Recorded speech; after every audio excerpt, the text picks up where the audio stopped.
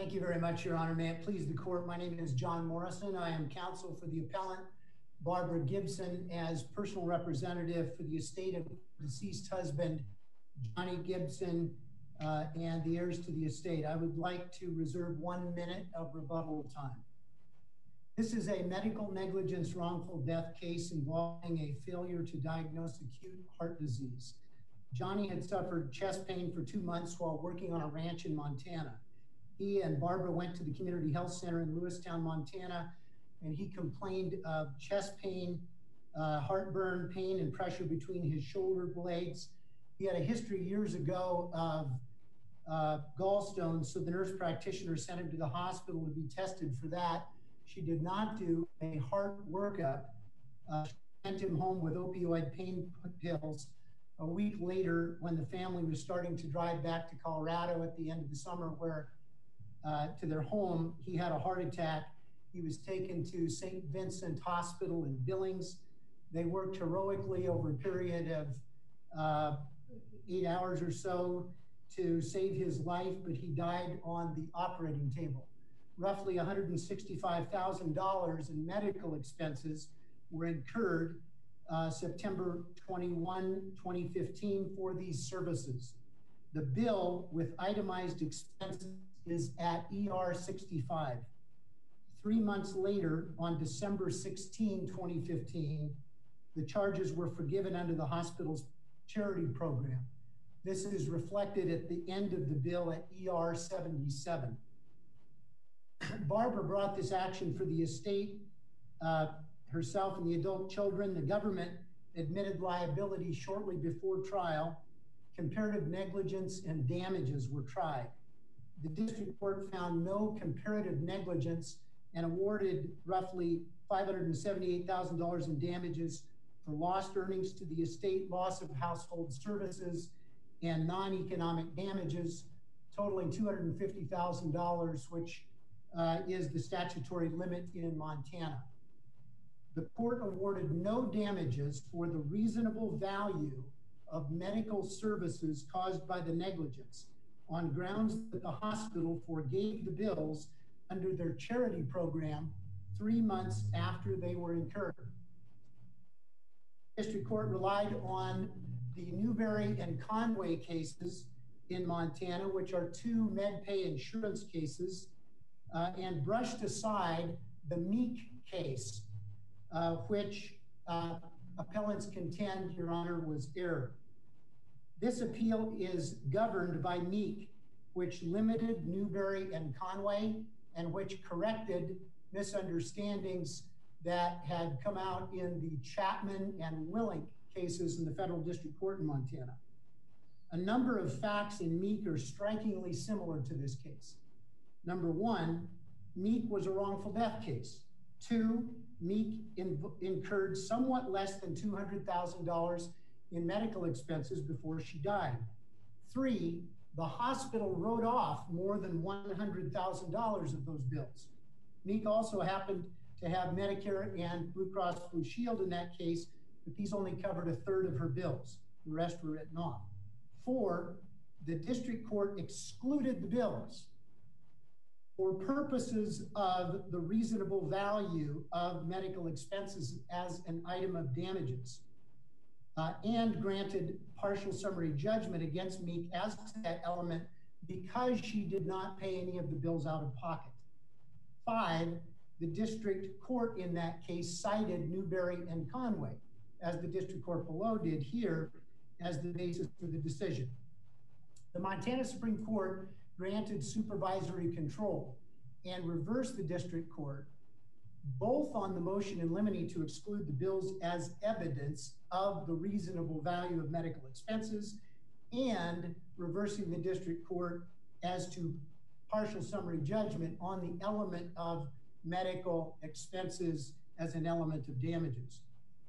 Meek held that medical bills are admissible specifically for the purpose of proving the reasonable value of medical services rendered, which is Um, an element of damages that has been recognized in Montana for many decades. As the Meek court said, and I quote, ultimately, there is a factual dispute in the case over the nature of the bills presented by the medical providers and whether they represent a reasonable value of the services provided. The existence of genuine issues of material fact precludes summary judgment. So, so let me just ask you, why should she be allowed to recover the medical expenses that the hospital forgave? Uh, there's several reasons for that, but we start with the fact that the Meek Court says specifically that the entire medical bill is evidence of the reasonable value of medical Because I read the record, that doesn't seem to be disputed. My question for you, though, is the hospital forgave the bill, right? She Yes. didn't pay it. Is that right? That's correct, Your Honor. It didn't, from what I could tell from reading the record and the briefs, the hospital did not reserve it a right to come after her if she, in the event she recovered against the third party tortfeasor. Is that right? That's correct, Your Honor. Okay, so why should she be allowed to recover that money? Well, I would answer in two ways, Your Honor. First, uh, wouldn't that be, but wouldn't that be, as they say in the case law, a sort of a windfall for her? well, the, the windfall argument has been uh, addressed for a long time in the common law of collateral source. There's go- if there, there's going to be a windfall, better that it be enjoyed, if at all, by the innocent injured party rather than uh, the tortious wrongdoer. And the government here stands in the shoes of the wrongdoer. Uh, but from um, another standpoint, uh, the But in what, sense is it a windfall? In what sense is it a windfall to the government as tortfeasor? That is to say, a tortfeasor should should have to pay uh, everything that the injured person lost. And here, the injured person did not lose what they had to pay to the hospital because they didn't have to pay anything to the hospital.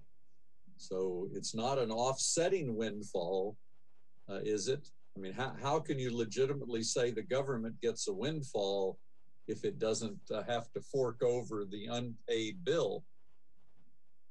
The, way that the wrongdoer would get uh, a windfall is that there is an element of damages in Montana. It is recognized uh, historically in the Anderson case, in the Kunke case, in the MPI, Pattern Instructions 25.07 of the reasonable value of medical services. It is expressly under Montana law, not an element of damages that depends on the amount paid. We cited the Kunke case from the 1980s that expressly says no statute and no case law requires the payment of medical bills before the payment can be recovered in a wrongful death case. This is the law in Montana. And so if that element of damages is not uh, uh, assessed against the wrongdoer, then it is a, windfall to the wrongdoer. But we've also cited public policy uh, arguments, Your Honors. And those include several very important things. One is that if this plaintiff had not been a poor uninsured person, if this plaintiff had been an insured person, then they would have gotten uh, the uh, reasonable value of the medical services. The judge would have allowed the bills in under Meek to uh, determine what the reasonable value of the medical services was. There would have been a collateral source hearing. Then there would have been a made whole analysis. And it's very possible that under the $250,000 general damage cap, the court would find that the plaintiff was not made whole and the plaintiff would not have to repay.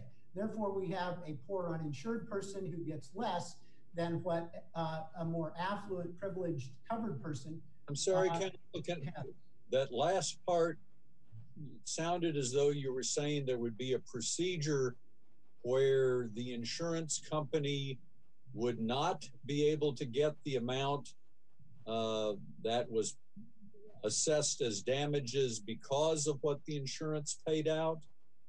That is the, the way I would have thought of it is if the insurance covered hundred thousand in medicals and the court awards hundred thousand in medicals, then the insurance company is going to get that back uh, from the victim. Were you saying there's a procedure where that doesn't happen?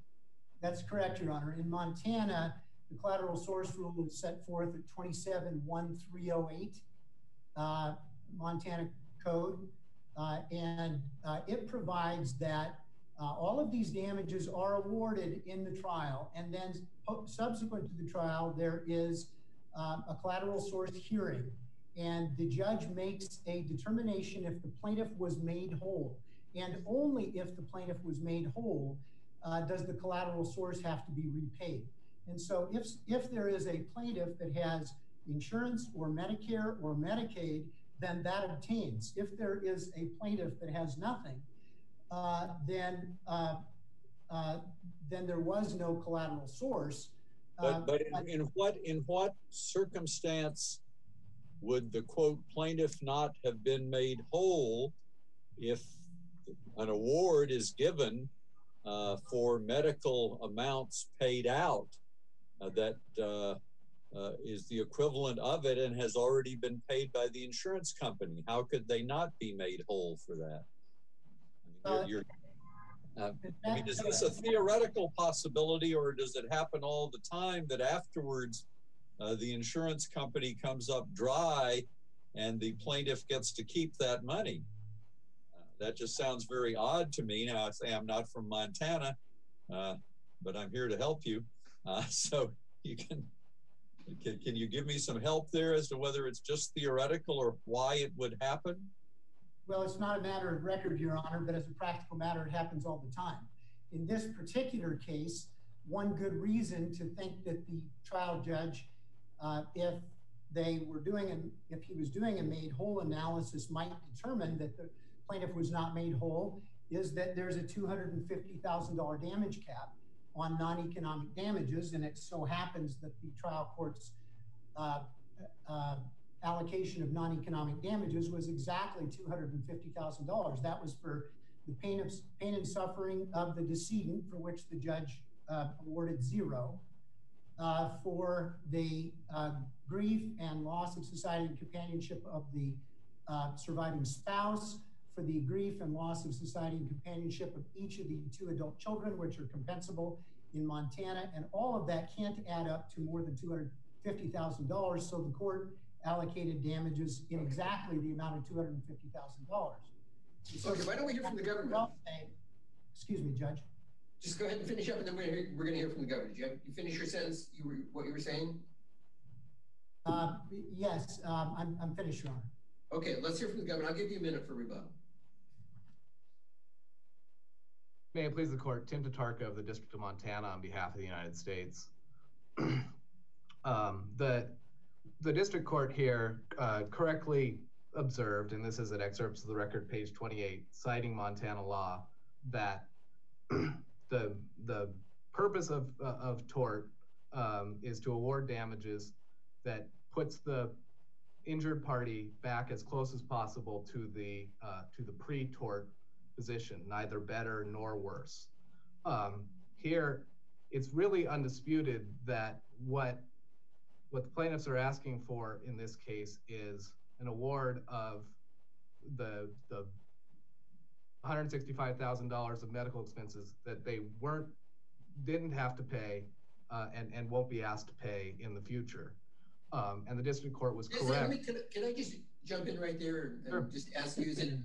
I looked in the record to to see if there was any documentation that when the hospital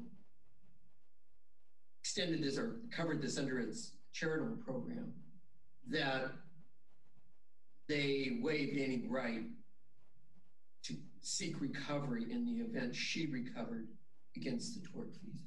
Was there any documentation of that in the record? Uh, I I don't I don't believe there's any any documentation of that beyond uh, beyond what's uh, you know at, at excerpts of the record page uh, 65 at, at the beginning of that uh, of that bill um, is is the amount saying the letter saying that all you know your the accounts are settled here, um, and the other fact that I think is is important, and I it's uh, related to your question, although I don't know it's directly responsive, um, is as the court notes at excerpts of the record, page 18, um, and it and referencing the transcript, um, this isn't a case where um, Miss Gibson had been had been billed for months and months. Uh, it's clear from the record that the only bill that she received is is this zero balance bill. Um, and and and again, that that just goes to the sort of basic tort principle here, which is there really was never a detriment uh, to the injured party here. The um, the the amount that she was billed, the bill that she received was was for zero dollars. Can I ask you uh, to, help me understand how this would normally work in Montana? Um, I, will confess that I didn't find either your brief or the plaintiff's brief all that helpful because you guys rely mostly on the case law, and it just doesn't seem to me that the cases help us very much in this particular instance. So let me describe for you how I think this should work, and it's adverse to your position, so I want you to tell me why I might have Montana law wrong. Um, first of all, you would concede, I, gather, that under the normal traditional common law collateral source doctrine, the plaintiff here could recover um, the full value of the medical services, regardless of whether they were forgiven or whether somebody else paid the, the amount. Do you, do you concede that? Um, I'm talking about under the traditional common law. Yeah, I, I think that's correct. Okay, so and and is that the the background uh, legal principle that governs in Montana? Has Montana adopted that aspect of the common law? No. The the Montana uses ha, there's a statutory uh, collateral source. Exactly. Okay, so that's what I'm trying to figure out. So the the background rule would normally allow the plaintiff to recover um, potentially here all 165,000. What you what you would then say though is that Montana has displaced the traditional common law rule to the extent that this 27-1308 applies. Is that right? Okay, let me. I, am afraid. I'm sorry. I, need, I think I need to revise my answer to, to your first question, um, because the the collateral source rule. We don't think the collateral source you even get to the common law collateral source rule in, in, in this case, where what you have is an adjustment to the to the bill. Um, well, let me just let me stop you there because you're wrong about the common law rule. The common law rule is very clear that it doesn't matter from the defendant's standpoint what happens to the amount the plaintiff was billed, whether it was forgiven in, full, whether it was paid in part by insurance. The common law rule is that the defendant really doesn't get any benefit from any of that. The plaintiff just gets to recover. Okay. So what I'm trying to figure out is to what extent is that the background rule in Montana?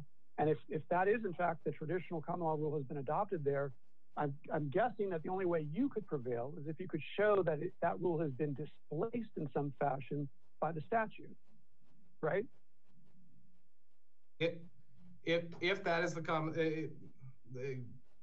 uh, under the premise that the, that that is that the common law rule would apply, um, then then then the question would be: it is a statutory uh, way the Montana works uh, work around that, and and again, we would say if you looking if you, if you look at it in that respect, if you look at it in terms of saying those bills are incurred at the at the moment of service, or those costs are incurred at the moment of service, then then you would look to the statutory uh, Montana statutory law and uh, uh, which says that um, that all of that comes in and the the uh, the entire amount of the bills comes in. The fact that they were paid would stay out in front of a jury. I don't know that that's as much of an issue in front of the the in a bench trial. But then afterwards, that would be reduced um, under under the collateral source statutory collateral source rule if if the amount forgiven qualified as a collateral source payment, right, under the statute, and that's where I guess I, I need your help, because when I look at the definitional provision, 27-1-307 1C, I don't know if you have that in front of you. I hope you do. I, can get pretty close.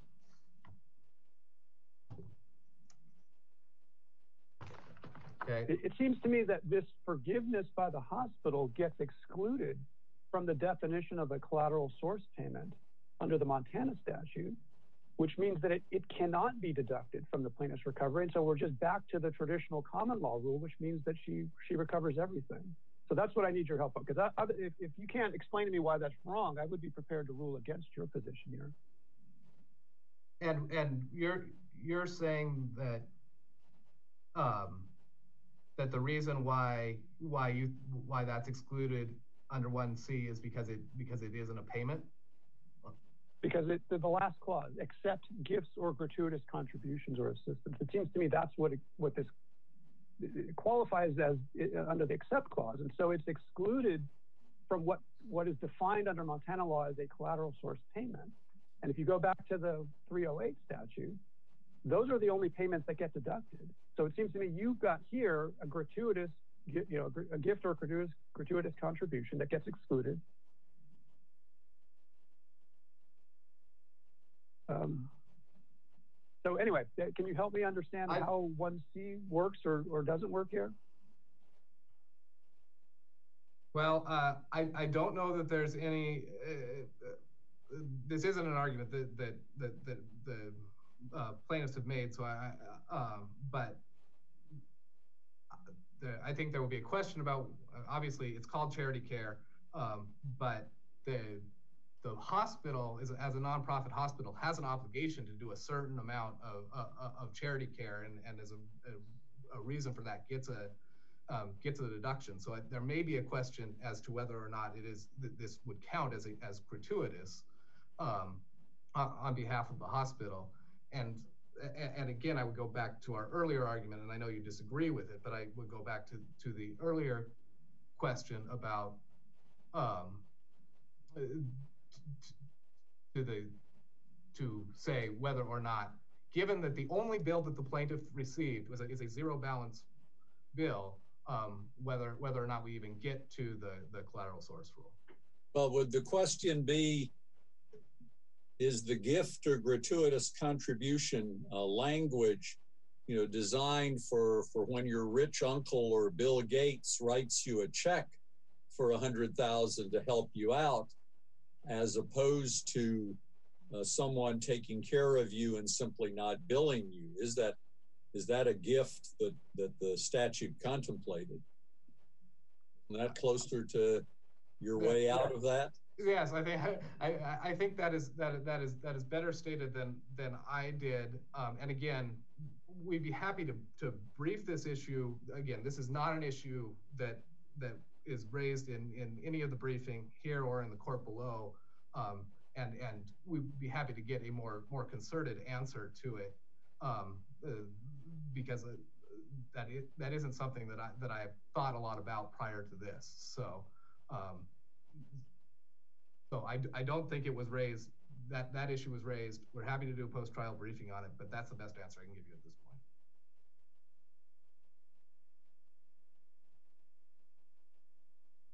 If the court anything else no, if the court has no further further questions, we'll we'll uh, uh, ask the, to for for the court to affirm. Okay, let's. I'll give the uh, appellant one minute for rebuttal.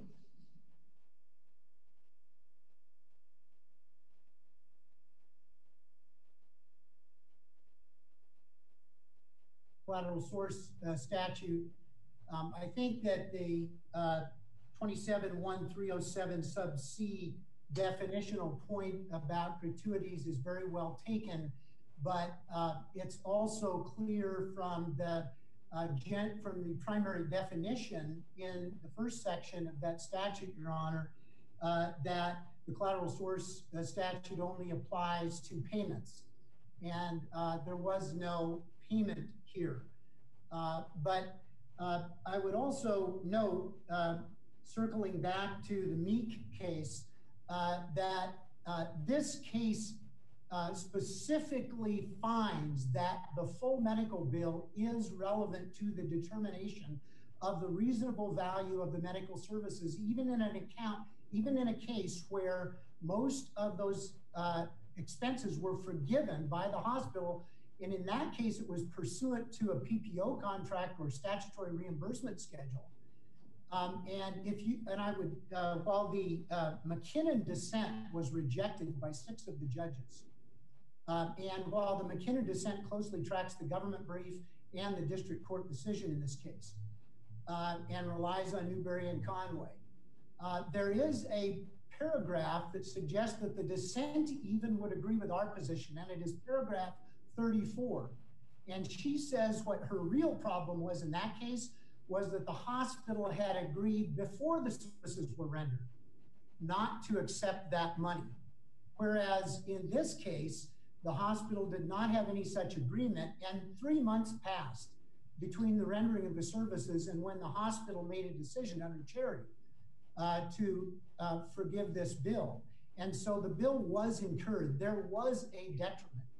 And I would also ask the court to look at our public policy arguments or uh, our considerations of the implications of this ruling with respect to that detriment. Because here we have some, excuse me, Your Honor. You're over the the time that I allotted, the extra time I allotted you. I apologize. Uh, thank you. We ask that the uh, court reverse and reinstate the medical bills for the reasonable value of medical services. Okay. Thank you very much, counsel. We appreciate your arguments this morning. Thank you.